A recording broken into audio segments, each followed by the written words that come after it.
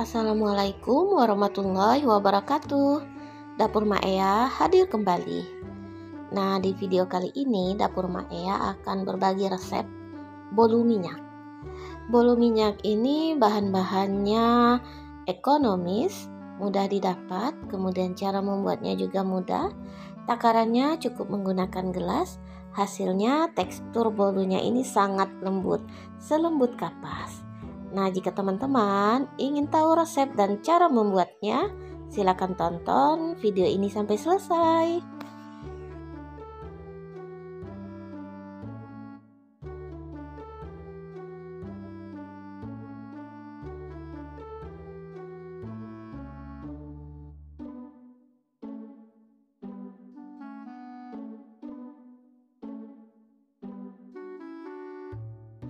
Kita langsung ke cara pembuatannya ya. Siapkan 3 butir telur ayam. Masukkan ke dalam wadah yang kering.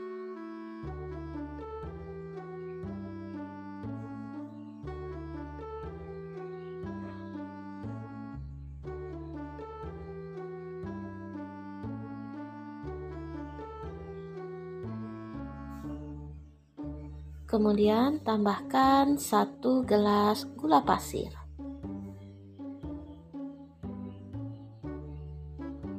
Setengah sendok teh SP dan setengah sendok teh pasta vanila.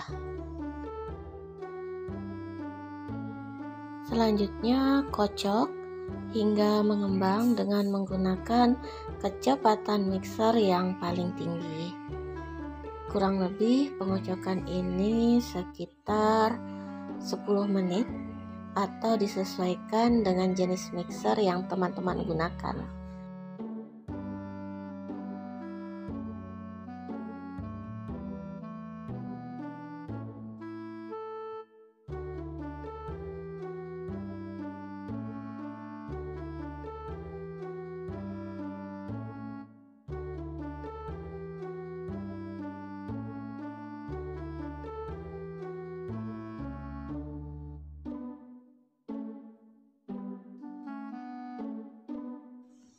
Nah, jika adonannya sudah kental berjejak seperti ini, ini sudah cukup.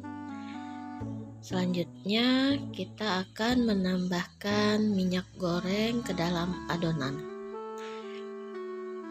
Siapkan satu gelas minyak goreng, kemudian masukkan ke dalam adonan. Ini Maya masukkan sekaligus ke dalam adonan kemudian dikocok kembali menggunakan kecepatan yang paling rendah sampai minyaknya ini tercampur rata dengan adonan telur.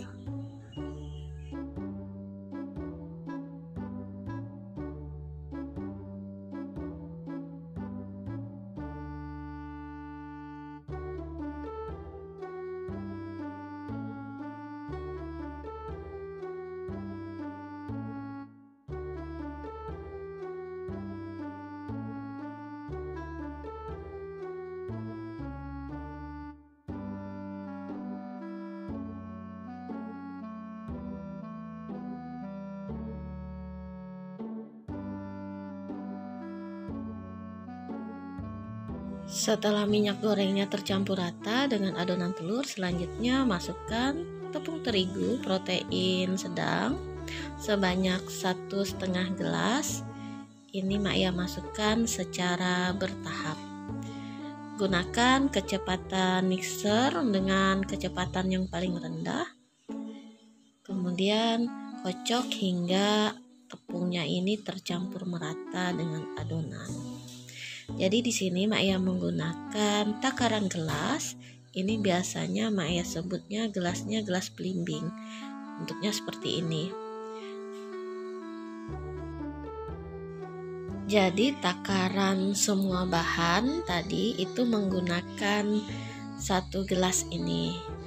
Nah, kecuali untuk telur, telur itu cukup menggunakan tiga buah telur yang ukuran sedang. Jika ukurannya kecil bisa ditambah menjadi 4 telur.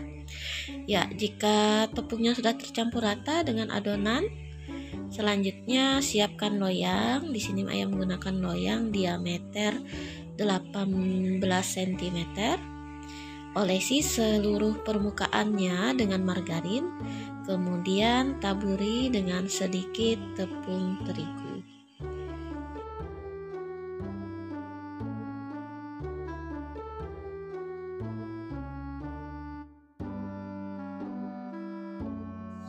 Nah, selanjutnya tinggal masukkan seluruh adonan ke dalam loyang sambil diratakan.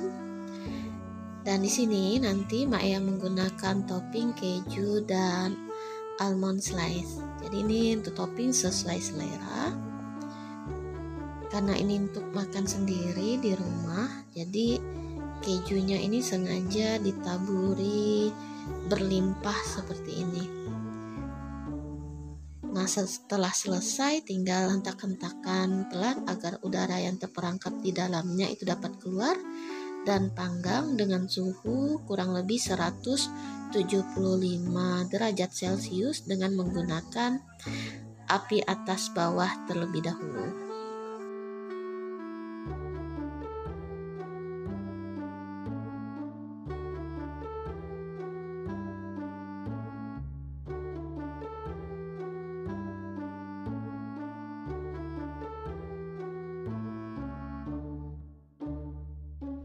Nah, setelah kurang lebih 20 sampai 25 menit akan mengembang seperti ini.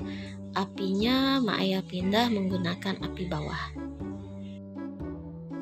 Ya, setelah sekitar 40 menit ini bisa dicek bolunya ini dengan menggunakan tusukan sate Apabila tidak ada adonan yang menempel di tusukkan sate, maka bolunya sudah masak, bisa kita keluarkan dari oven.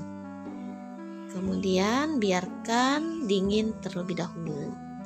Setelah dingin, keluarkan dari loyang dengan menggunakan spatula tipis seperti ini untuk menyisir bagian tepinya.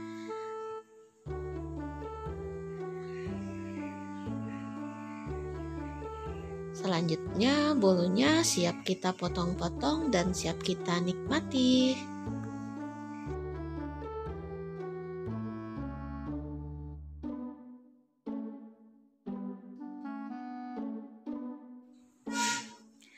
Nah, ini kelihatan teksturnya sangat lembut sekali. Pori-porinya ini padat, halus dan rasanya ini enak sekali. Cara membuatnya juga mudah, bahan-bahannya ekonomis. Silahkan teman-teman jika ingin mencoba bolu minyak ekonomis dengan takaran gelas ini. Terima kasih untuk teman-teman yang sudah menonton video ini sampai selesai. Dukung terus channel YouTube Dapur Maya dengan cara subscribe, like, comment, share, serta nyalakan lonceng notifikasinya agar teman-teman tidak ketinggalan video-video terbaru di channel YouTube Dapur Maya. Wassalamualaikum warahmatullahi wabarakatuh.